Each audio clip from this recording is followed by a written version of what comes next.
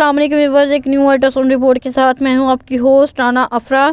तमाम देखने और सुनने वालों को मेरा सलाम, मेरा बहुत ज़्यादा प्यार। रिपोर्ट शुरू करते हैं जी पेशेंट का नाम है सादिया शफीक और इसकी एग्ज़ामिनेशन की डेट है first December two thousand twenty first ठीक है?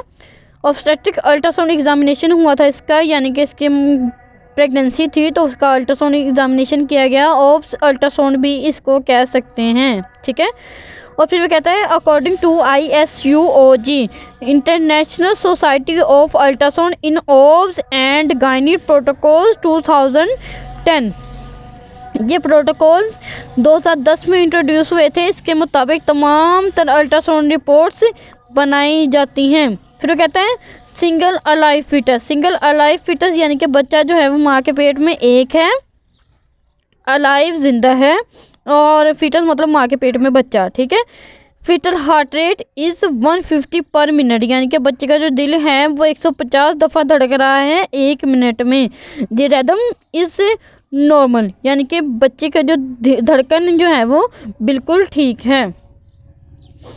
फिर वो कहता है कि जी बीपीडी यानी कि बच्चे का सर का एपी डायमीटर उस पर वो कहता है thirty five weeks two days ठीक है? प्लस का मतलब साइन का मतलब है कि वो आगे डेज़ डिटरमाइन करने की कोशिश कर रहा है।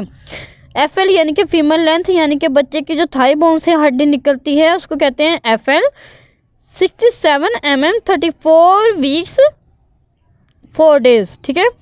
ए सी मतलब abdominal circumference two ninety one M M इस पे वीक्स कितने बने thirty three weeks one day ठीक है? एच सी एच सी मतलब हेड फ्रांसिस और इस पे कितने, ये कितने हैं? Three one seven M M and thirty five weeks four days इस पे बने, ठीक है? इसके तमाम गेस्टेशन एज पैरामीटर्स को मुहैया करके जो हमारे पास जो है वो इसका वेट निकला है ई एफ़ डब्ल्यू ये बना है जी तेईस सौ चार ग्राम, ठीक है? और इसमें वो कहता है प्लस माइनस जो इसका एक्चुअल वेट है, हो सकता है कि ये मेरा वेट जो मेरे पास निकला है, ये यूनिक ना हो। इसमें हो सकता है जो बच्चे का एक्चुअल वेट है, उसमें तीन सौ दस ग्राम प्लस भी हो, तीन सौ दस ग्राम माइनस भी हो। ठीक है? गेस्टेशनल एज गेस्टेशनल एज बच्चे की जो उम्र है, वो कहता है thirty five weeks zero days है। ठीक है?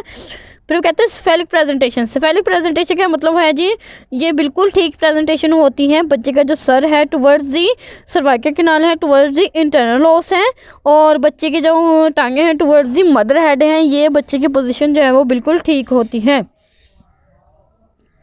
लॉन्गिट्यूडनल लाई लॉन्गिट्यूडनल लाई का मतलब ये भी ये भी बच्चे के पोजीशन से रिलेटेड ही होता है। ये बच्चे की पोजीशन को डिटरमाइन करता है, यानी कि बच्चे की पोजीशन जो है वो बिल्कुल ठीक है। ये दोनों चीज़ें जो है वो बच्चे के पोजीशन को डिटरमाइन करने की कोशिश करती हैं। ठीक है? लाइकर लाइकर इस स्कैंटी यानी कि बच्चे के इर्द गिर्द जो पानी होता है, जिससे बच्चा खुराक लेता है, वो स्कैंटी है, यानी कि बिल्कुल ना होने के बराबर हो गया है। Placenta placenta is anterior wall placenta जो है वो एंटीरियर वॉल है, यानी कि बच्चे की जो आवल है जो है वो ऊपरी जानी है। ठीक है?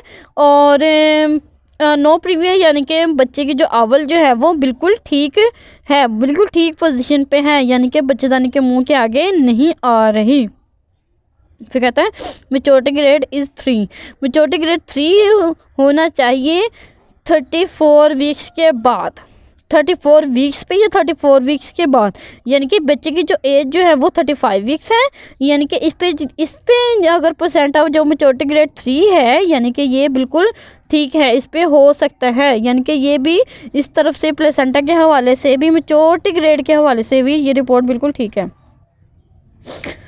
हमारे पास जो नेगेटिव पॉइंट जो हमारे जहन में आता है, इस रिपोर्ट में वो ये है कि ये लाइकर जो है वो बिल्कुल स्कैंटी हो चुका है। यानी कि बच्चे के इर्द गिर्द जो पानी है, वो ना होने के बराबर हो गया है। ठीक है? एनाटॉमिक सर्वे एनाटॉमिक सर्वे में क्या कहता है? नो इंट्राक्रेनियन अनॉमली यानी कि बच्चे के सर में किसी किस्म की कोई फॉल्ट नहीं है, किसी किस्म का कोई मसला नहीं है, ठीक है? Atrium atrium is 8.9 point nine M M posterior fossa is 9.3 point three M M यानी कि ये जो दोनों पैरामीटर्स हैं, ये डिटरमाइन करते हैं कि बच्चे के सर में किसी किस्म का पानी नहीं है, किसी किस्म की अबनॉर्मलिटी नहीं है, ठीक है? और सैरिबेलम सैरिबेलम यानी कि हरा mugs is normal normal C S P C C add फोनिक्स ये तमाम पैरामीटर्स जो हैं, वो डिटरमाइन करने की कोशिश कर रहे हैं कि बच्चे के सर में किसी किस्म का कोई मसला या कोई फॉल्ट या कोई अब नहीं है। ठीक है? फिर वो कहता है बोथ किडनीज यानी कि बच्चे की दोनों किडनीज लेफ़्ट किडनी का साइज़ उसने दे दिया thirty eight point four M M और राइट किडनी का साइज़ दे दिया thirty seven point nine M M यानी कि ये दोनों जो है, वो किडनी का साइज़ जो है, वो इस एज के हवाले से बिल्कुल ठीक है। फिर कहता है यूरिनरी ब्लैडर यानी कि बच्चे का जो मसाना है, वो एंड स्टमोबल यानी कि बच्चे का जो मैदा है नॉर्मल सी नॉर्मल यानी कि बोथ किडनीज यूबी मसाना स्टमक बबल यानी कि बच्चे का जो मैदा है, वो बिल्कुल ठीक है। फिर कहता है नॉर्मल स्पाइन नॉर्मल स्पाइन का मतलब होता है बच्चे की रीढ़ की हड्डी, ठीक है? और फिर वो कहते हैं इंटैक्ट एंटीरियर एब्डोमिनल वॉल ठीक है? यानी कि बच्चे के पेट में किसी किस्म का हनियन नहीं है, ठीक है? नोट नोट में वो क्या दे रहा है? दी एक्यूरेसी ऑफ़ ईडीडी यहाँ पे अगर आपने रिपोर्ट में नोट किया हो कि उसने ईडीडी देने नहीं दी ठीक है? ईडीडी उसने नहीं दी क्योंकि ट्वेंटी सिक्स वीक से बाद ईडीडी जो है वो आ, सही नहीं आती यूनिक नहीं आती। वो गलत होती है वो कह लो कि मतलब यूनिक नहीं होती ठीक है? वो जो होती है अल्ट्रासाउंड उसको अल्ट्रासाउंड के मुताबिक वो ईडीडी जो होती है, उसको हम करेक्ट नहीं कह सकते। ठीक है?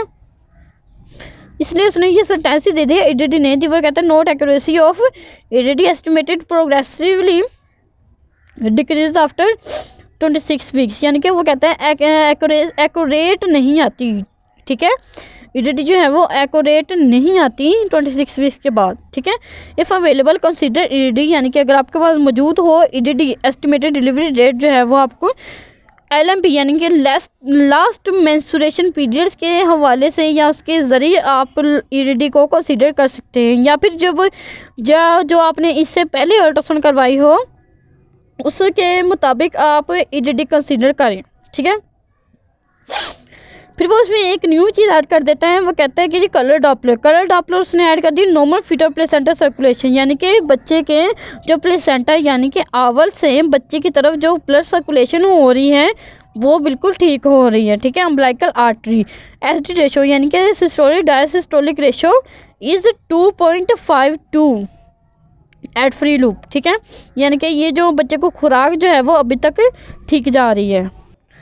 और इसमें वो एक, इस रिपोर्ट में वो एक न्यू चीज़ जो ऐड कर रहा है, वो कहता है biophysical profile plus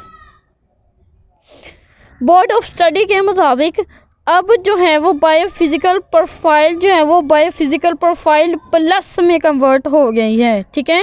यानी कि उसमें एक और ऐड कर दिया गया है पैरामीटर जो इसको कहते हैं जी फिटर डॉपलर फिटर डॉपलर को भी वो कहता है कि बायोफिज़िकल प्रोफ़ाइल में आप ऐड करें। ताकि हमें ये फ़ैसला करने में आसानी हो कि आया कि बच्चे को मज़ीद कितनी देर माँ के पेट में रहना चाहिए या रखना चाहिए, ठीक है?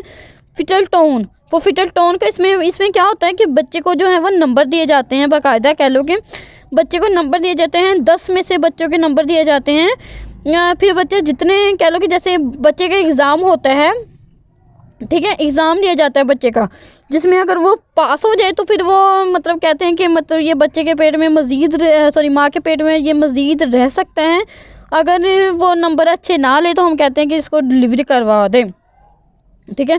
फिर कहते हैं फिटर टोन फिटर टोन को वो दे रहा है जी दो नंबर ठीक है? फिटर वो फिटर बॉडी मूवमेंट्स यानी कि बच्चे के जो, है बॉडी के जो मूवमेंट्स हैं, वो नहीं आ रही। उसने मतलब जितने, जितनी देर उसने स्कैन किया, उसने उसमें देखा कि बच्चे की जो बॉडी है, वो मूव नहीं कर रही। फिर ठीक है ठीक है? फिर वो कहता है कि नहीं फीटल ब्रीथिंग मूवमेंट्स ठीक है? यानी कि बच्चे की जो सांस लेने की, ठीक है? सांस लेने से जो मूवमेंट्स पैदा होती हैं, वो उसने देखा वो, ठीक है? और उसको भी वो वो भी नज़र नहीं आई। यानी कि फिटर ब्रीथिंग मूवमेंट्स उसे नज़र नहीं आई, ठीक है? फिर वो कहता है कि एम एमनियोटिक फ्लूड वॉल्यूम यानी कि जो फॉल्यूम जो बच्चे के इर्द गिर्द तो पानी है, जैसे कि मैंने आपको पहले ही बताया कि वो स्कैंटी है, ठीक है? फिर इसको, फिर उसने इसको दे दिया ज़ीरो नंबर किस पे भी इसका ज़ीरो नंबर आया, फिर फीटल डॉपलर फीटल डॉपलर पे उसने देखा तो उसको, उसने देखा कि डॉपलर जो है वो बिल्कुल ठीक आया है तो उसने इसको दो नंबर दे दिए। यानी कि टोटल जो बच्चे के नंबर बने हैं, वो चार नंबर हैं, ठीक है? फिर उसने कहा है कि मार्क्ड ओलिगोहाइड्र एमनियोस यानी कि मार्क्ड, यानी कि बच्चे के जो इर्द गिर्द पानी है, वो बिल्कुल ख़त्म हो गया है या ना होने के बराबर है। ठीक है बायोफिजिकल प्रोफ़ाइल स्कोर उसने दे दिया जी फोर बाय टेन ठीक है, यानी कि इस कंडीशन में मेरे ख्याल से इस रिपोर्ट के मुताबिक जो है वो बच्चे की डिलीवरी जल्दी होनी चाहिए। ठीक है? आज के लिए बस इतना ही। अपना बहुत ज़्यादा ख्याल रखिएगा दो में। याद रखिए, चैनल पे न्यू है, चैनल को सब्सक्राइब कर दीजिएगा। आज के लिए बस इतना। अपना बहुत ज़्यादा ख्याल रखिएगा दुआ में। याद रखिएगा, अगर आपको मजीद इन्फॉर्मेशन चाहिए तो डिस्क्रिप्शन बॉक्स में मेरा नंबर है। वहाँ पर आप जाकर मुझसे रब्ता कर सकते हैं, मुझसे पूछ सकते हैं। मेरे साथ रिपोर्ट डिस्कस कर सकते हैं। अपना बहुत ज़्यादा ख्याल रखिएगा। अल्लाह हाफिज़।